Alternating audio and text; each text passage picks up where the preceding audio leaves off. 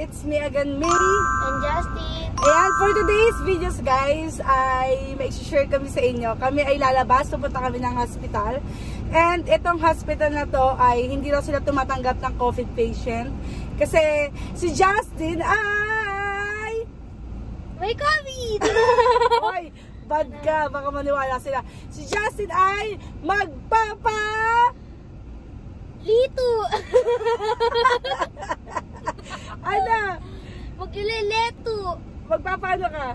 Magpapaleto! siya ay magpapatuloy, magpapacircumcise siya dito sa may lugar din namin, sa may Plaridel. And, kumuha kasi ako ng module today, pero after kong kumuha ng module, ay pupunta tayo dun sa hospital na to. Nakalimutan ko yung name ng hospital. And sila hindi daw tumatanggap ng COVID patient kasi nag-aalala ako na idalhin si Justin sa mga hospital dahil ngayong pandemic, di ba? Maraming cases dito sa lugar namin. So, syempre, si Justin ay kinukulit ako. Actually, dapat kahapon pa. Kaya lang hindi kami nakalabas kahapon. And, kinukulit niya ako. Sabi niya, Mami, magpapatuloy na ako para isa na akong ganap na lalaki. Sabi ba naman sa akin kanina, Mami, magpapatuloy na ako. Mag-aasawa na ako. Mag-aasawa ka na? Si Justin po ay 11 years old. Actually, dapat last year pa. Kaya lang, di ba, nagka-pandemic sa atin, kaya hindi natuloy ang kanyang pagpapatuli. So, umuusad yung, umuusad ng umuusad yung mga buwan. And, baka pag next year na, masyado na siyang bulihin kasi next year is nasa 12 na siya. Di ba, supposed to be dapat 10, 9, 10, 11, ganyan yung mga age na nagpapatuli. Siyempre, nagbibinata si Justin, ayaw ko naman na mabuli siya na, ay, hindi patuli, ay, hindi patuli. da, sobrang excited siya. Hindi pa rin ako nakakakita ng ano eh, kung paano tuliin eh. And hindi pa rin ako nakakakita ng ano, ng itsura ng ganun. At punta tayo sa hospital and mag-inquire na tayo kung i-schedule ba or pwedeng nauna and i-update ko kayo later kung ano yung mangyayari. Kasi yung friend ko, yung anak niya, kasabay rin ni Justin. So, ang sabi ko sa kanya is mag inquire muna ako kung i-schedule ba or on the spot, tutuliin nila ngayon. So, kapag katutuliin nila ngayon, babalik kami sa bahay para pick upin yung friend ko tsaka yung anak niya. Pero kung i-schedule is magkapa-schedule kami and i-update ko kayo later. ngayon, magpaleto! Di ba excited ka na? Bakit excited ka magpatuli? Wala lang. Gusto ko na tuli. Bakit? Bakit? Sa tingin mo ba bakit tinatuli yung mga lalaki? Ewan ko, para umiyak. ano, sa ano tingin mo? May idea ka ba kung bakit ka magpapatuli? Wala, gusto ko lang. Kaya nga, ano nga sa tingin mo yung dahilan? Bakit kailangan magpatuli ng mga lalaki? Di para lumaki na. Para lumaki na? Sabi, Tumangkad na. sabi kasi nila, kapag ka nagpatuli daw ang lalaki, tatangkad na. So si Justin gustong tumangkad. Eh, di ba, di ba naman ako tuloy? Matangkad na ako eh. Pero matangkad naman na talaga si Justin, halos maaabutan na niya ako. Tapos, syempre, di ba dito sa Pilipinas, kapag hindi ka tuli, bully ka. Pero sa ibang bansa, hindi naman talaga tinutuli. Dito lang, sa, ewan ko kung ano-ano lang yung mga bansang may, Opsu. may tuli. So, let's go guys. Punta tayo sa, sa hospital and magtanong-tanong tayo kung ano pa yung dapat Papaleto gawin. na ako mamaya. Ano? ano? Grabe guys, sobrang init. Ang init Sobrang init. Kumuha kami ng ano ng module dito sa school. Sobrang init, grabe. Inaantay ko lang. kami. Oh my God, Kiss. Tara na, punta na tayo guys. Ayan, malapit na kami. Mesa na ba tayo? Plaridel. Dito pala sa Plaridel. Saan na ba yun? San Diego yata pangalan ng hospital na yan sa may tapat Poge. ng Metro Bank. Ayun na. Roge pala. Uy. Doon ba? Ang traffic kasi, uy. Ang tagal eh. Ang problema lang is walang parking dun. Yun lang ang Ayaw problema dun. Ay, magpa-park.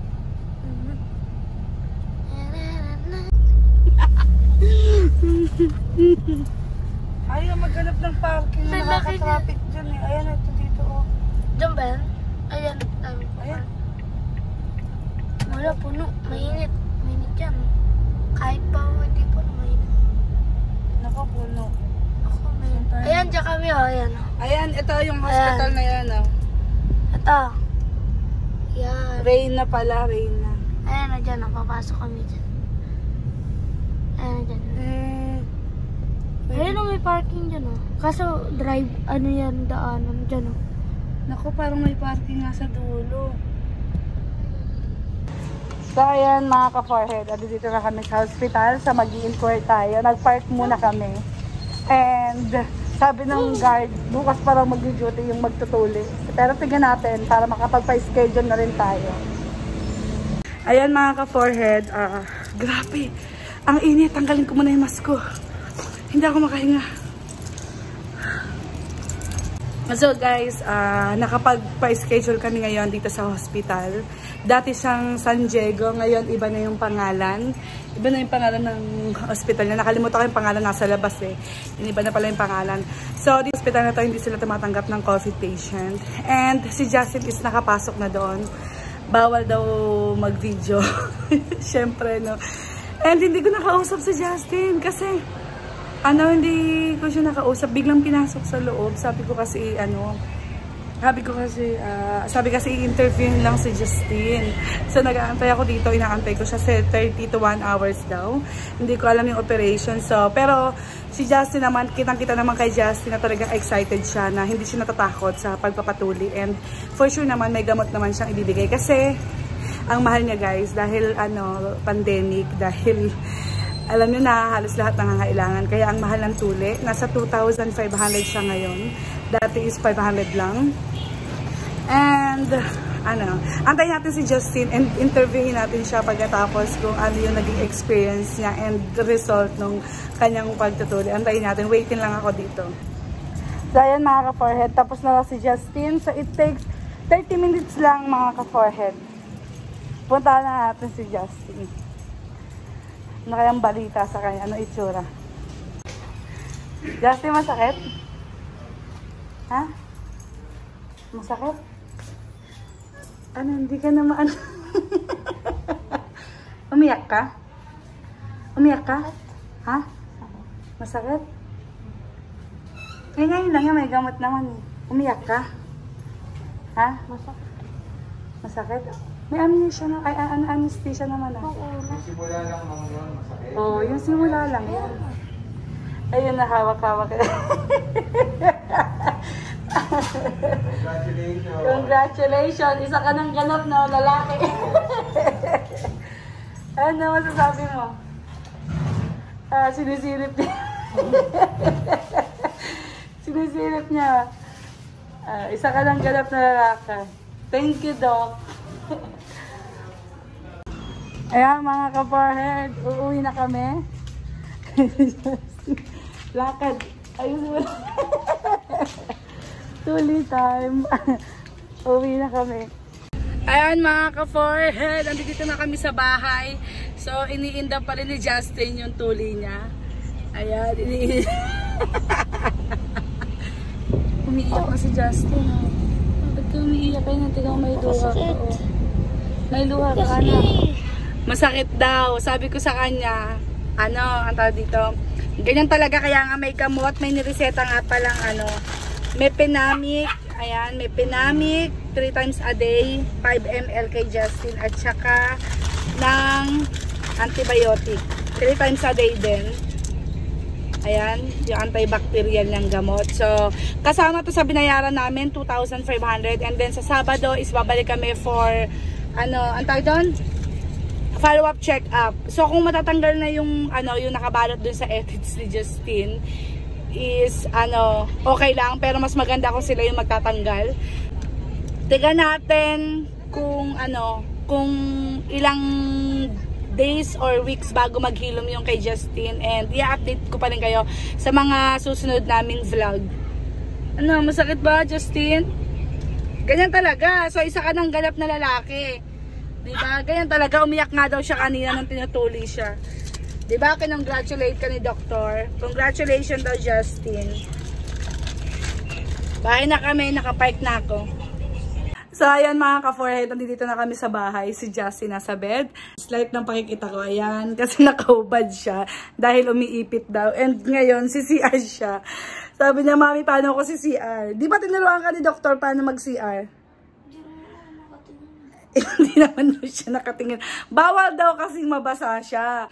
Kaya sabi ko sa kanya, suotin, wag na lang siyang mag-brief and mag-short. Ay, syempre hindi siya nag-brief, kanina tinanggal din yung brief niya. Sabi ko, wag na lang siyang mag-short and magsuot siya ng mga damit ko. Yung parang isang buo, para pag iihi siya, tataas na lang niya yung damit ko. Eh, ayaw naman niya kasi pag nadidikit daw masakit. One, mga one week lang yan, Justin, okay na yan. Na... Pero grabe guys, ah, ang dali lang ng operation. Nandoon siya ng, nandoon kami ng 3.35 and 4.10 tapos na. Sa mga 30 minutes lang, okay na. Tapos kinausap ako ng doktor, follow up daw ng Sabado. Um, binigyan ng gamot, may pinamic at antibiotic, 3 times a day parehas, yung may pinamic 5 ml. And ang price niya is 2,500. Kasama na yung gamot na binigay niya. And sa Saturday, after 2 days, may follow-up check-up si Justin. Siyempre, for sure, may doctor's fee na naman tayo. And hindi ko alam kung magkano. A-update ko na lang ulit kayo kapag lumabas kami at anong mangyayari sa kanyang follow-up check-up. And tignan din natin kung ilang days mag-heal tong ano ni Justin. Sabi kasi parang mga 1 week, 2 weeks, parang ganon yata. Ba tamang-tama sa pagpapatuli niya dahil ano, dahil nasa bahay lang kami, walang school and yung module lang naman niya kayang-kaya niyang gawin 'yon. Sa ngayon kasi syempre bago pa lang ilang oras pa lang. Syempre masakit talaga 'yon, 'di ba? Nang sakit na 'yan, Justin. Okay na, hindi katulad namin mga babae, every month kaming nire-regla. Char. Grabe, pawis na pawis ako. Sobrang init. Grabe. Ayan guys. Thank you for watching. I-edit ko na tong video na to. And sa mga hindi pa po nakaka-subscribe ng aking YouTube channel, don't forget to subscribe and don't forget to hit the notification bell para lagi kayong updated pag may bago akong ina-upload. Ayan, sobrang init na init ako mga ka-forehead.